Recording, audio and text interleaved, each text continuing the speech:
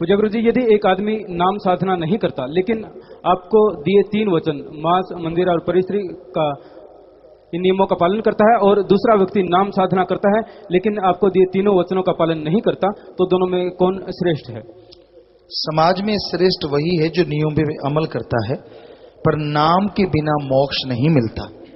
जो नाम लेके वचनों की काट करता है, समाज में वो दुखी रहेगा, लेकिन ऊपर रूहानी मंडलों पे भक्ति करवा के, गलती की सजा मिलके उसको मोक्ष मिलेगी, लेकिन आप स्वर्ग जाके उसके बाद फिर से जन्म मरण में जाएँगे, क्योंकि आपके पास मोक्ष का टिकट राम नाम नहीं।